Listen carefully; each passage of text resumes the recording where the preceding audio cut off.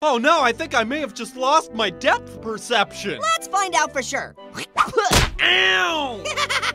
yeah, it's his depth perception.